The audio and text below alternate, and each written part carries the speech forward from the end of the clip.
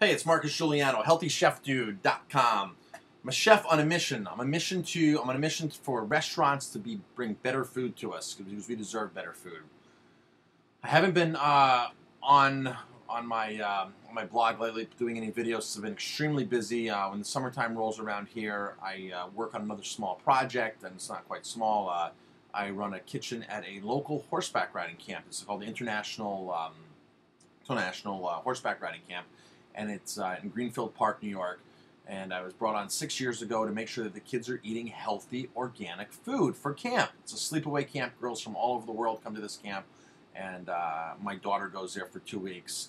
And um, I've uh, became very, very, very friendly with the owner, and I have a great time there. So for me, it's really not like work, but I just have to be there to make sure that the kids are eating, eating properly, eating healthy, and eating as much organic as possible. So I've been involved in that in the last two weeks. It's uh, the 22nd of June right now. Father's Day just happened the other day. Um, other big news here, I'm recording my very first video on my 27 and a half inch iMac that's right in front of me here. And I, am so excited. Um, I bought this because we're just we don't have enough computers here at the restaurant. And uh, so uh, this was a uh, this was a really good good asset to have in our office. The staff can use it um, which means I can still walk around with my, my MacBook, and my wife can walk around with her MacBook, and nobody doing service. They just come right here to the desk and work away without have to do the staff.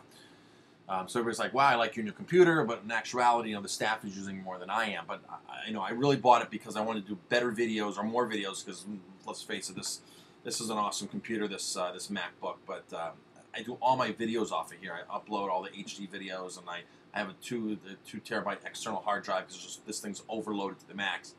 So this is the, uh, the, the computer that I'm going to use hopefully for all my all my videos, and I'm kind of liking this new iSight uh, thing in here, and then the, the, quality that, that that's coming out of it. So uh, another news, uh, not this Sunday, the Sunday before, my son and I ran the Orange Classic, the 30th Orange Classic race, which is a 10K race in Middletown, New York. It's been happening for 30 years. Um, George Shorter was the one who uh, who kind of made this race famous. He was the uh, the Olympian, Olympian runner who uh, who did very well. I forgot what Olympics back in the '70s. Um, I believe he was a gold medalist. He comes every year for this race. He's from the he's from Middletown, New York, so he really endorses this. Um, they have a lot of super elite uh, athletes that come to to race this. My son, who's eight, and if any of you know Justin and I, or know know you know the restaurant here, Justin is a really big runner. Justin loves running. He's just turned eight years old. He ran his first half marathon in, fir- in kindergarten. At the age of six, he ran his first half marathon. And of course, Justin eats like I talk and I preach. Uh, you know, he's he's obviously uh, my son, so uh, he knows all this all this stuff, and he knows all the healthy foods, and really has uh, become acclimated to them. So you can kids will eat healthy. Uh, so Justin and I ran the race. He legitimately beat me. Um, yes, um, you know, sometimes we've we've always made a pact to like finish together, like hand in hand, and cross the finish line. So one of us will wait for each other. But I got to tell you, the kid was on top of his game. I bought him new running shoes the week before, and really feeling good about himself. He gets out there. He finishes the race in 5104, 10k, six and a quarter miles. 5104, the kid did it in. I don't know what average that's eight something or I, I don't know what, what I, I we got to do my math here and figure out what that is on a mile average. His first mile was 743. The last half mile, the kid just took off. Um, he didn't even say anything to me like, Dad, let's go burn it. Because he'll usually say, Hey, Dad, I got some juice left or something. N- not this time. He heard the band, he saw the track that you had to finish on, and he just took off. And I, I before I knew it, I couldn't catch him. And I, I tried. I just, just couldn't do it. So, congratulations to my son, Justin, 5104. Uh, some current news right now genetically modified salmon. Um, let me pull it up on the window here. This is the great thing. Now I can actually see what's going on uh, on the internet here, look into the camera, and really uh, be able to reference some things, hopefully. So, genetically modified organisms, GMOs, this is where they take crops and um, meat now too, or, or, or, milk because they take it for the cows as this bovine growth hormone. But big companies like Monsanto are taking and splicing the genes. This has been around for over 10 years, so a lot of you probably know this. But if you don't know this, this may come as a shock. They're splicing genes of plants to put different characteristics. For instance, cold weather tomatoes are getting sole genes in them because fish, the fish, the sole, you know, withstands colder, cold, uh, uh, colder waters and stuff like that. So they're experimenting where they're crossing barriers. Not only were they doing plant uh, from certain plant characteristics to other plants because that's that's really been done for years upon years. That's called hybriding. That's when two apple trees are sitting next to each other. Apples aren't a good example because each seed is different inside each apple. But this is where two two plants are sitting next to each other and they cross pollinate by nature, by the bees and the pollen, and up comes something else. You know, it's a little modified characteristics from other. Hybriding's been done for for many many years, centuries, and we've actually, you know, humans, human people have actually induced hybriding to make crops, you know, grow a little bigger or whatever, make maybe ship a little further. But now they're splicing the genes of plants. So this is different. GMO is much different than hybridization. Um, hybridization is not good to begin with. You really want the, the wild, natural strain of the plant. Like bananas are nothing what we know of the original banana to be.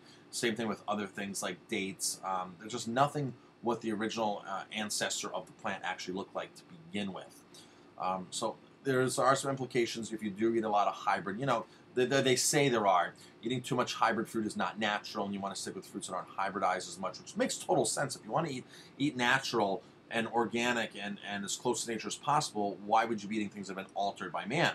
Well, now they've taken it, you know, ten steps further with the where they take the genes and they splice the genes together, and one characteristic of a plant or an animal can go into another characteristic of a plant or animal um, so trying to cross the species barrier. But even they don't cross the species barrier. For instance, like corn, they will load corn up with BT, which is a chemical that they use to douse the fields to kill any of the insects or anything. Instead of spraying the fields now, they just splice it into the genes of the corn, so the corn is toxic all the time, not just when you're spraying, you know, the field with BT or whatever the chemical you're using. So when monarch butterflies land, bees, this has been an issue for over a decade. Since the mid 90s, this has been going on. Um, they're really concerned about the environment of, of, of the good insects out there. And of course, the good insects take care of the bad insects, it all goes around. That's why biodynamic farming is so important, where they analyze everything, the good and the bad, and everything coexists.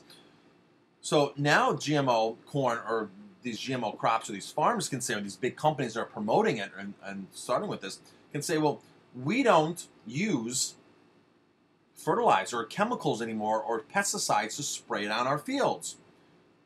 Well, no, they don't use them to spray down the fields. They use them to inject into the cells of the plant, into the genes, so it's always ex- being expressed onto the plant. So that's a serious, serious issue. They also do something called Roundup Ready, where they take um, Roundup, the opposite enzyme, stick it into, or the Roundup enzyme, and stick it into the plant, splice it into the genes, really hard, splice it in. So now when they grow potatoes, um, corn, things like that. Now some now some crops have actually fallen off because big people like big companies like McDonald's are saying, I don't want any part of Roundup Ready potatoes or whatever it is, term whatever it is, and so the industry just dies out for that particular crop, which is great.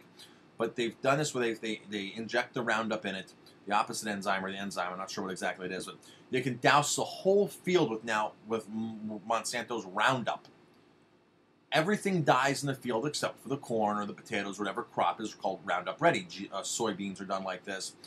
So if you think about it, the Roundup is on the plants. And it's them being careful now instead of spraying in between and getting to the soil, maybe infiltrating the roots. Now the whole field is just dusted with Roundup. Now I know all of us are smart enough not to go into the local hardware store, buy some Roundup, and spray it on our garden, and then start to eat the things we just sprayed Roundup on. We're not that stupid.